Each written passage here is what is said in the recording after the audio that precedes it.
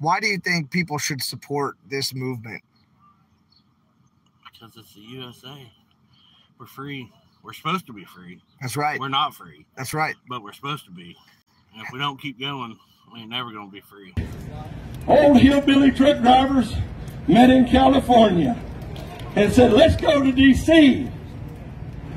And all of a sudden the media says, uh-oh, it's coming to our neighborhood. What would you tell people who are just sitting at home, you know, who think that driving around wasting fuel isn't going to solve any problems? Like, what if somebody says that driving around and wasting fuel that does nothing?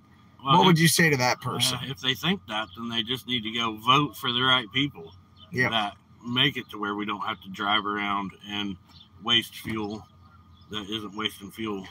We're investing in our freedoms. we want, if we want to waste fuel, we ought to be able to waste fuel. Though.